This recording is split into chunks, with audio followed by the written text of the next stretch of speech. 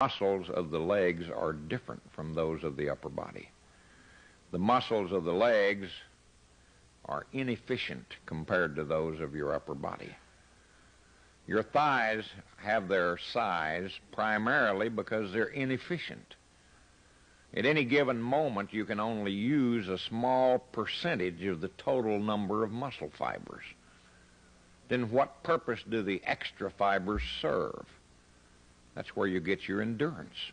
If you could utilize every fiber in your thighs, and you did so simultaneously, you would produce unimaginable forces. You'd be so strong you wouldn't believe it. You'd also be a cripple because not only would the muscles tear themselves loose, but you'd crush the bones longitudinally. I don't mean bend them and break them, you just compact them. If every fiber in your leg